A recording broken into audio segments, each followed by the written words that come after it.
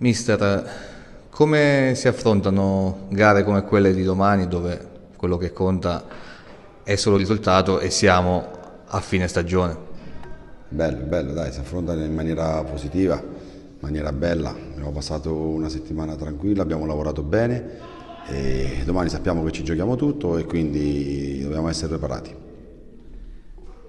Cosa teme di più di questo Pineto reduce da sette risultati utili consecutivi?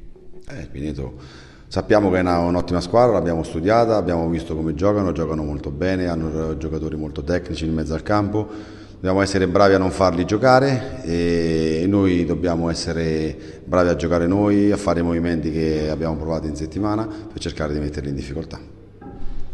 Samb che non vince fuori casa da più di tre mesi, un motivo in più per gettare il cuore oltre l'ostacolo? Sì, sì, ormai non ci si guarda più a queste cose, non vince più fuori casa ma domani è una partita già da playoff perché noi domani per eh, andarci dobbiamo vincere, quindi già una partita dentro fuori, la dobbiamo affrontare senza paura, con convinzione, verranno tanti tifosi ad incoraggiarci e dobbiamo prendere il loro sostegno e portarlo noi in mezzo al campo. Condizioni di Thomas e Lulli?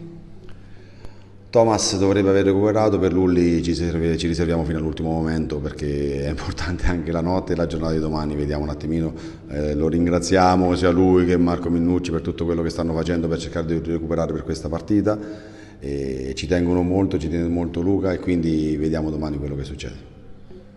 Dall'infermeria altro da segnalare? No, no, basta già quello che abbiamo, va bene così.